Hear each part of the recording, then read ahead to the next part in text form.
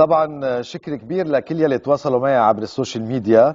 الينا إلينا صباح الخير جوزيف. والله صعبة وبحس حالي بجوز يرجع وما يشوفني أو يرجع ويكون فائت حدا منا. الله يرجعه بخير وسلامة. يا رب مين ما كان مغترب عندك يرجع بسلامة. تمارا مراد آه، الجبور صباح الخير. في أكثر من آه، زوج هي بعيد ناطرين رحمة الله. كل شيء بهالدنيا آه، بيتعود سبحان الله بنتعود عليه. لونا صباح الفل. أكيد شعور صعب لأنه نص عائلتنا صايرين بالغربة حتى نحن. مريومة أصولها أخي في الغربة ربي يعينه ويرجعه بالسلامة. محمد رضا نجم أكيد ما حلو الشعور. آه إنه الواحد يكون عنده حدا بالغربة. بالفعل يعني كل شخص منا في عنده حدا بعيد عنه. تفاصيل يوميتنا ما عم بيقدر يتبعها ونحن تفاصيل يوميته ما عم نقدر نتبعها. شغلة منا سهلة ابدا وما بتفرح ابدا. إن شاء الله الله يلم شمل كل العائله وخاصة هلا نحن بفترة الأعياد الكل آه، بيرجعوا المغتربين بيرجعوا والعائله بتجتمع. إن شاء الله يكون كل قادرين إنه يجتمعوا بهالفترة على القليلة. خلينا نحكي مع تانيا وموضوعنا اليوم التواصل خلال فترة الأعياد كيف فينا آه، نستمتع فيه؟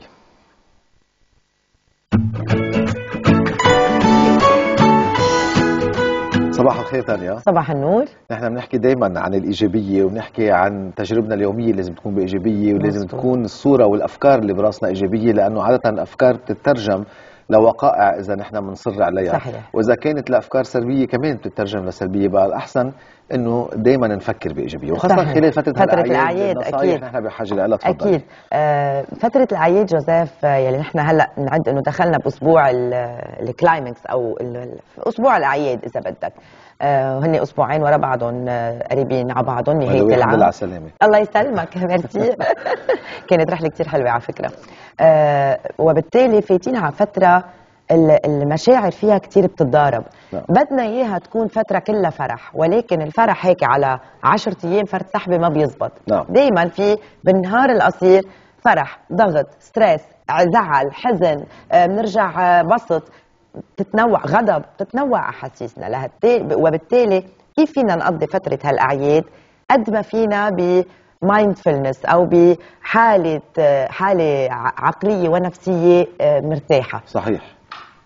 آه، الضغط اللي بيعمله العيد أي عيد هو ضغط نشتري الهدايا ضغط نحضر الطعام. قد ارضي الكل يلي بدي أعمله بالاكل تكون عم برضي الكل أو الهدايا تكون هدايا مفيدة أو بحبوها. ما إلى ما هنالك.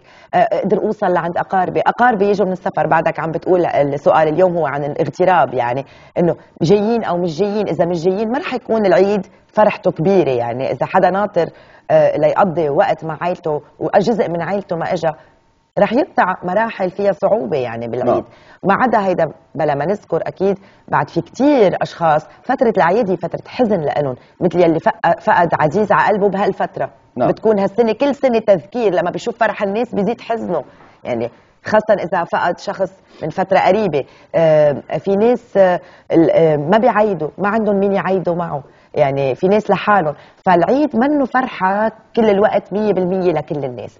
مشاعره متناقضة. فكيف فينا نعيش هالفترة بشكل هيك حالة نفسية جيدة؟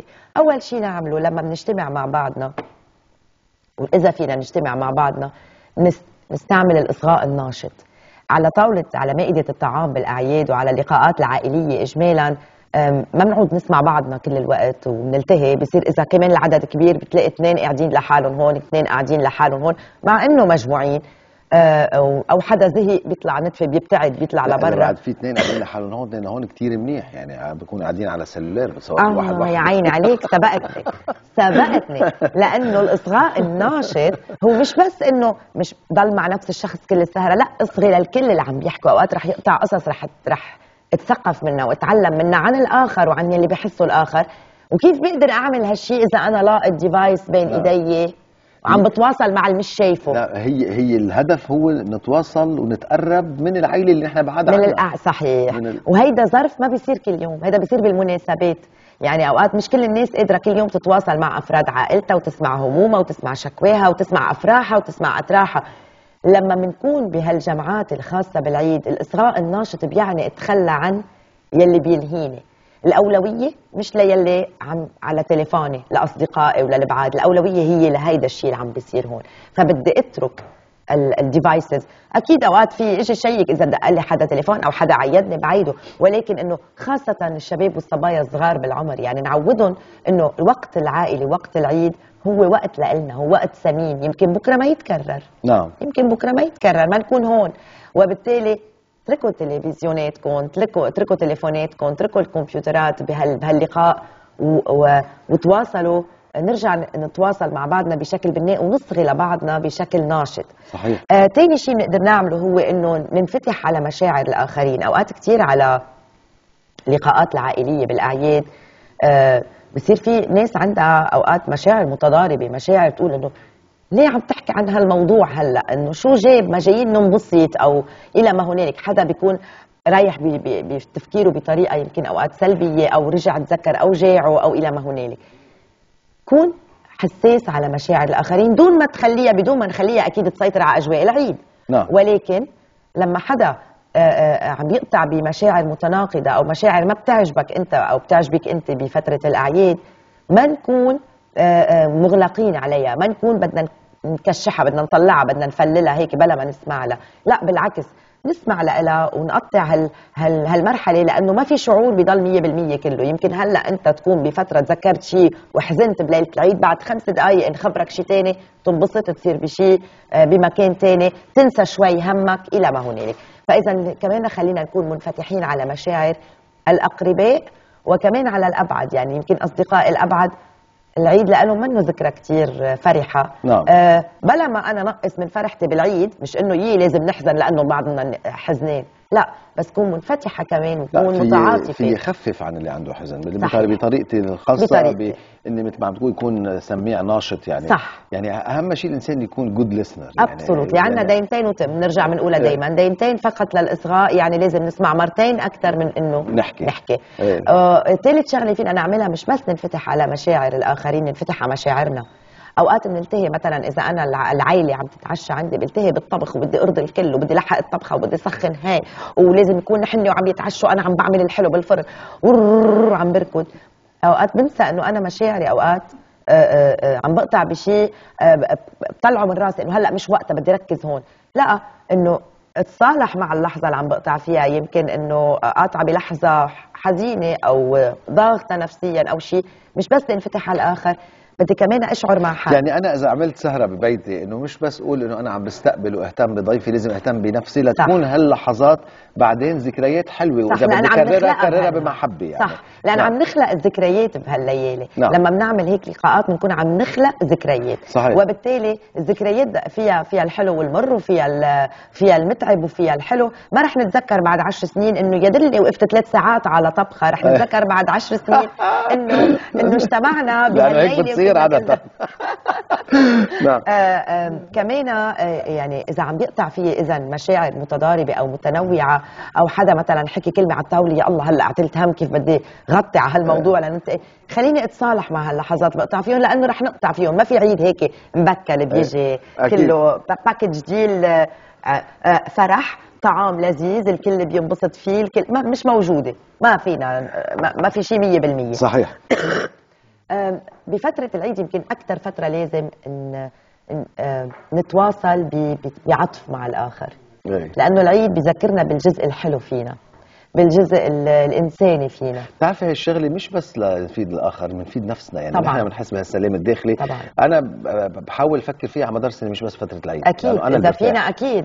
يعني هيدا السلام الداخلي اللي بينتقل للخارج وبيعكس على الآخر وبيعكس على حالنا يعني على نفسيتنا على وجهنا على صحتنا كل هالأمور هيدي بتأثر. يعني كثير. ربنا طلب منا نساعد الآخر أو ربنا طلب منا الالتفاته أو عند آه الإخوان المسلمين الزكاة عند الإخوان المسيحية مساعدة الفقير يعني عن آه يعني كل هودي لا بتعود منفعتها لنا شخصيا. لأنه أسمى درجات الفرح عند أي كائن بشري العطاء. هو العطاء. عطاء وأثبت مش بس بالديانات أثبت كمان علميا. علميا نفسيا. إنه لما آه. بتعطي من ذاتك أو لما بتعطي من وقتك أو لما بتعطي من أملاكك للآخر من من فلوسك من اغراضك إلى ما هنالك آه، آه، هيدا قمة الفرح. لما بتساعد إنسان على اجتياز الطريق بيكون في تارجت. بيكون في سبب لوجودك صح. يعني هيدا مهم هيدا اللي دائما بقوله يا ريت بنتذكره مثل ما عم بتقول كل سنه مش فقط بالأعياد آه، لأنه عن جد هيدا مصدر فرحنا نعم. آه، إنه نعطي من ذاتنا للآخر أنا يمكن يكون صح. ما معي قرش بجيبتي صحيح بس أنا عم بس ينتبهوا كثير منيح. مش بس إنه نعطي إنه الماديات اللي لا، لا، لا، فيكم. تعطوا من وقتكم في. تعطوا من عطفكم تعطوا من إحساسكم صح. هيدا اللي عم بقوله. يمكن ما معنا ولا قرش. الآخر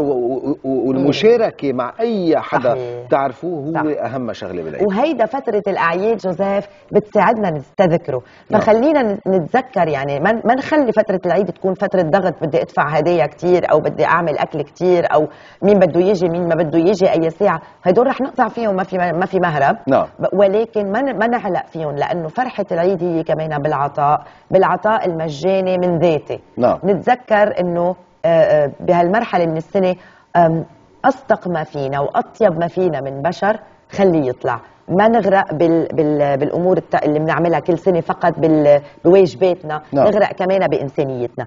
آه كمان فترة الأعياد يمكن هي فرصة أنه نطلع من الحكم على ذاتنا وعلى الآخرين الأحكام المسبقة صحيح. توقعاتي من حالي السيئة أو الجيدة وتوقعاتي على من الآخرين السيئة أو الجيدة هي هلأ الفترة إني أطلع منها وإني أتواصل بشكل بناء مع الآخرين أتذكر طبيعتهم الطيبة لو قد ما أنا متخانقة معك بهالفترة بدي أتذكر إنك أنت جوزيف الإنسان يلي عندك نفس حاجاتي نعم. وأنا تانيا اللي عندي نفس حاجاتك وأحكامي المسبقة يمكن بركي مبنية على غلط يمكن مبنية على شيء صح بس مش وقتها نعم. وإذا مبنية على غلط هيدا يمكن الوقت إني نصحح أنا وياك يعني هون كله بيوقع بخانة ال resolution أو resolutions الأمنيات أمنيات يعني دائما. أمنياتنا تكون صح. positive كيف. بدنا نبلش سنة جديدة أو فترة اعياد جديدة نعم. 100% وكمان ما ننسى دائما إنه آه، آه، إنه نوفق بين يجب أن وأحب أن يعني علي إنه أعمل كذا وكذا وكذا بس آه، عبالي كذا أو كمان أنا لازم أرتاح لازم أطبخ مش. غلط إنه تعملوا شو بتحبوا ها هي أهم, أهم شيء. كل يوم كل يوم